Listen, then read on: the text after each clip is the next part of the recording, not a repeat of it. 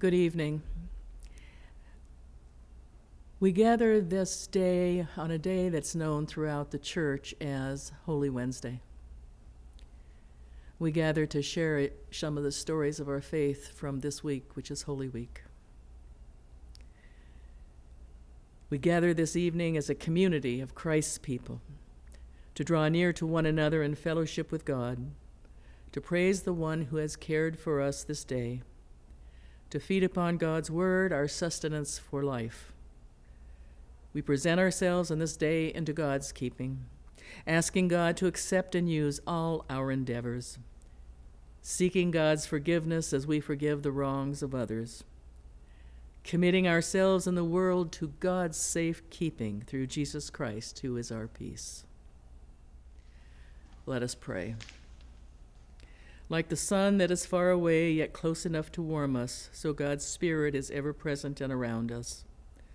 Come, Creator, into our lives. We live and move and have our very being in you. Open now the windows of our souls. Amen.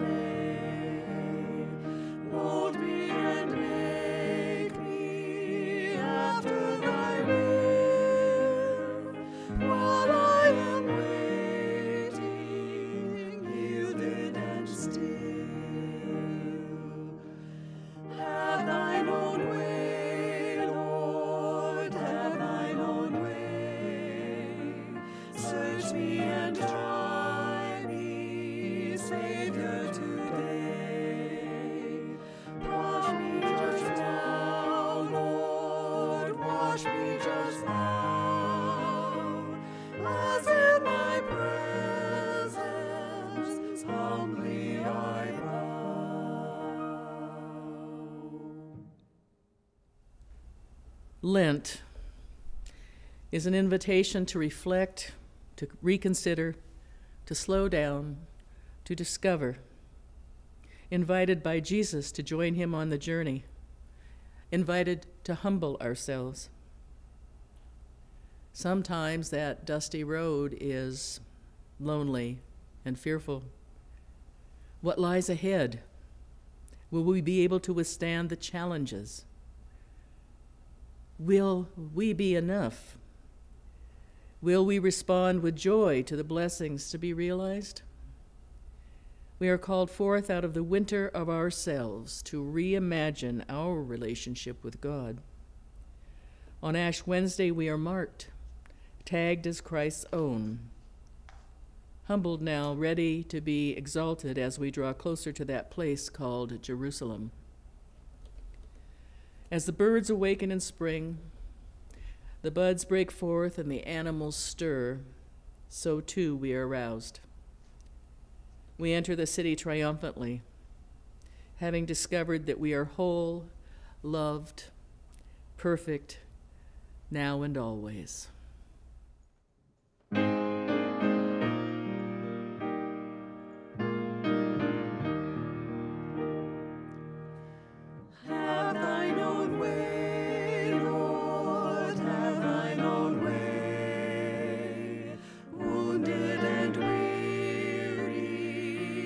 Christ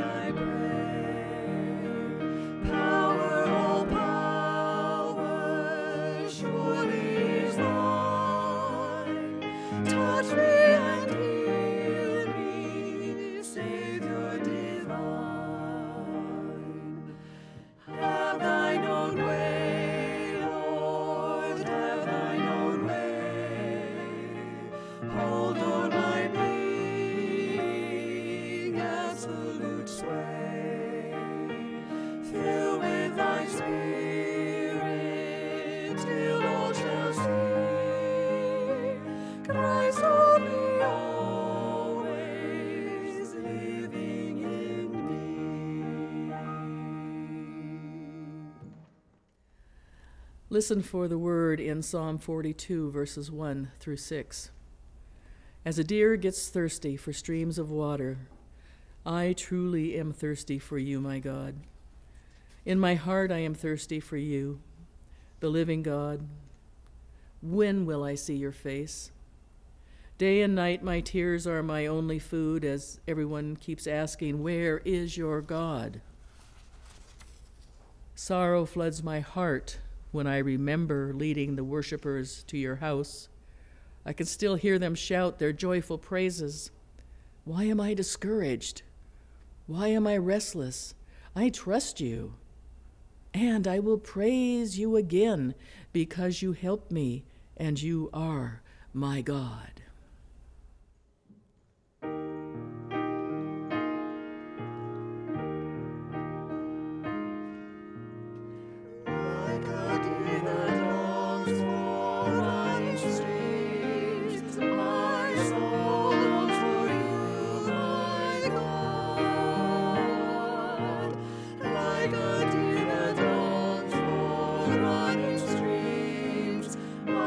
A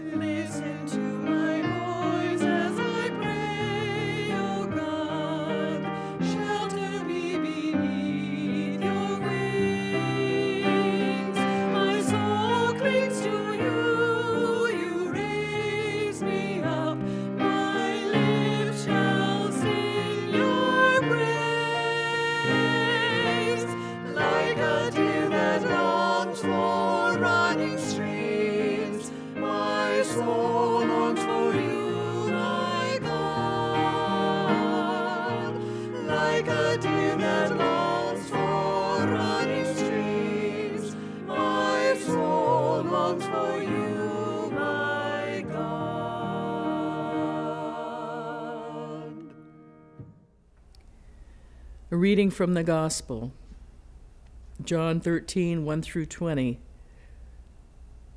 Reading from the CEV translation. Listen to the word according to John. It was before Passover, and Jesus knew that the time had come for him to leave this world and to return to the Father. He had always loved his followers in this world, and he loved them to the very end. Even before the evening meal started, the devil had made Judas, the son of Simon Iscariot, decide to betray Jesus. Jesus knew that he had come from God and would go back to God. He also knew that the Father had given him complete power. So during the meal, Jesus got up, removed his outer garment, and wrapped a towel around his waist. He put some water into a large bowl. Then he began washing his disciples' feet and drying them with the towel he was wearing. But when he came to Simon Peter, That disciple asked, Lord, are you going to wash my feet? Jesus answered, You don't really know what I'm doing, but later you will understand. Ah, you will never wash my feet, Peter replied. If I don't wash you, Jesus told him, you don't really belong to me. Peter said, Lord, don't wash just my feet then. Wash my hands and my head. Jesus answered, People who have bathed and are clean all over need to wash just their feet. And you, my disciples, are clean except for one of you. Jesus knew who would betray him. That is why he said, except for one of you. After Jesus had washed his disciples' feet and had put his outer garment back on, he sat down again. Then he said, Do you understand what I have done? You call me your teacher and Lord, and you should because that is who I am. And if your Lord and teacher has washed your feet, you should do the same for each other. I have set the example and you should do for each other exactly what I have done for you.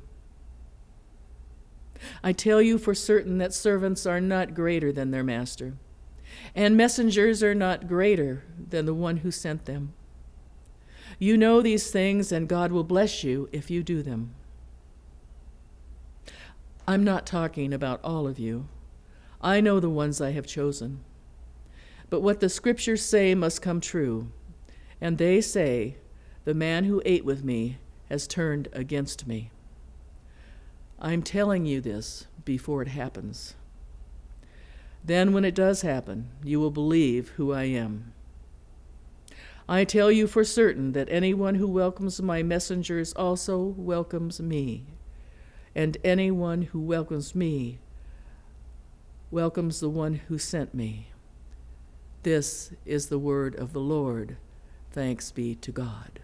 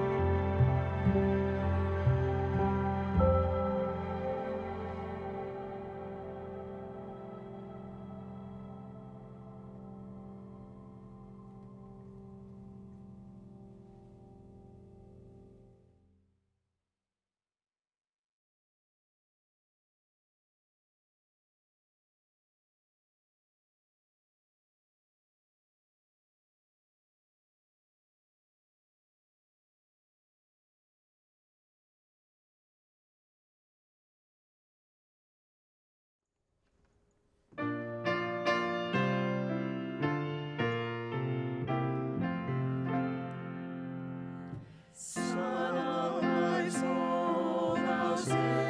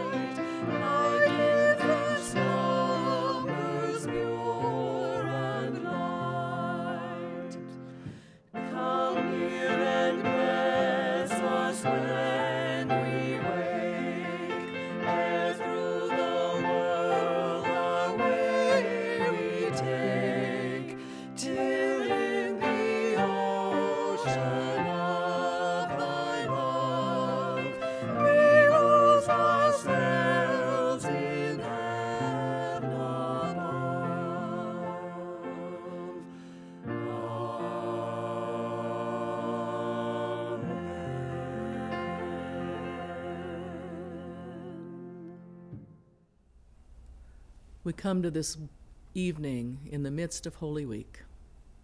We hear the stories of our faith, and maybe we find ourselves in some of these stories. May this week provide you prayer, solace, wonder, whatever you are inclined to need, take from this week and from the stories of our faith go through this evening, go through the days ahead, knowing that you are blessed, you are called, and you are walked with by a spirit of all that is holy.